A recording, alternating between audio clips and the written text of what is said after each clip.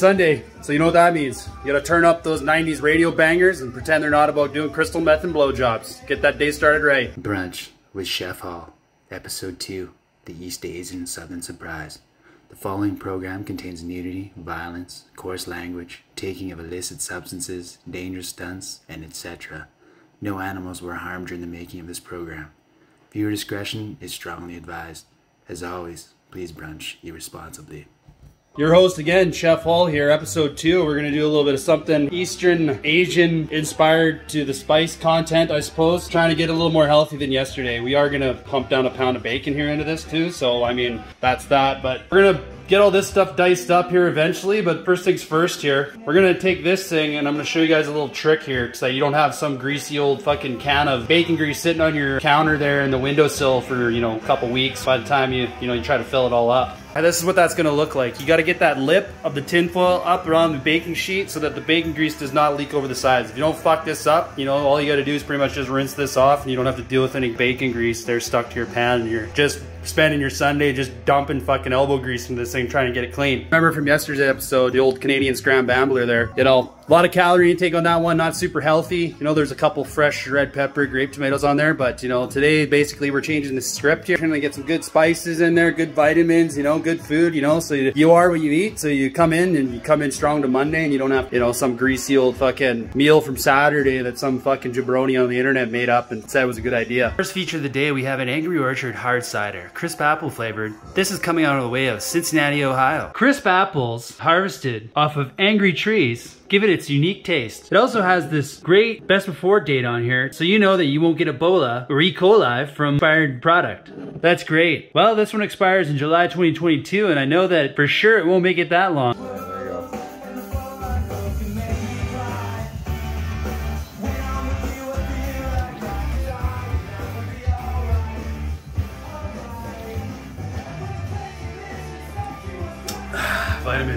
So the feature of this dish is going to be kind of contrary to a lot of people's beliefs about brunch. Bunch of curry, pepper, salt into this broccoli thing with a bunch of olive oil, and then we're going to steam that up, and uh, it's going to be really good. I've actually never used curry for this. Usually like a turmeric paste, kind of, you know, keep it nutty, keep it earthy, keep it health food story every day you got to try stuff new so you know you just kind of keep on growing right well everything's really starting to come together the timing's all been kind of right on spot on here today you know everything's just kind of making a move you know we got this uh, delicious uh, steaming kind of stuff going on here I really have a good feeling about this one, you know, curry and breakfast and all that, you know, might have some reservations, but uh, I think this is going to turn out pretty good.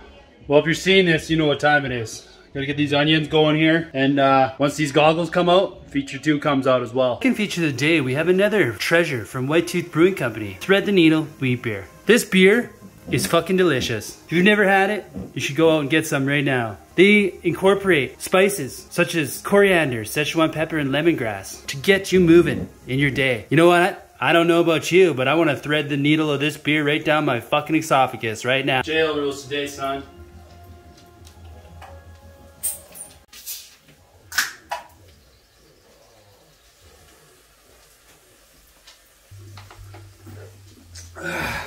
Mmm.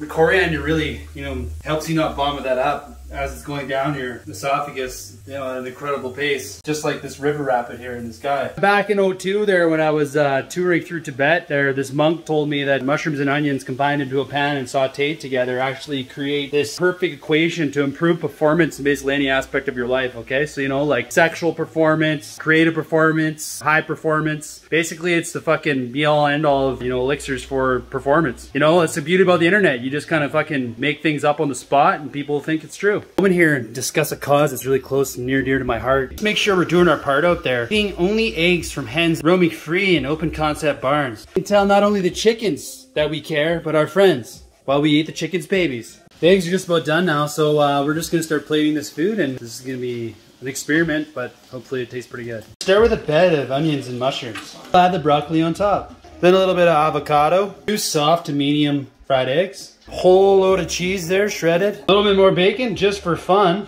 And then we'll top it all off with uh, diced up baby tomatoes. And of course, one more thread the needle wheat beer. Get your Sunday started right. Well, despite my initial reservations about what curry would do to this dish, it turned out excellent. All right, so hope you enjoy. maybe you'll get to try this dish one day. Uh, if you talk to my booking agent there, maybe you can get a catered meal delivered to your door, but it'll cost you. So give it a try. If you need the recipe, you know, just ask. You know, I, I know we don't really have the budget to show a lot of the cooking on the cooking show here that's been created here. You know, our sponsors are mostly beer brands. We get a broccoli plant there, or, you know, a couple of the hens from the old open concept free roam barn there to give us a shout out or give us a sponsor. Maybe we can up the production on the, the actual cooking portion of the show. Anyways, hope you enjoyed. Stay tuned for the third feature of the day. Bailey's, the original.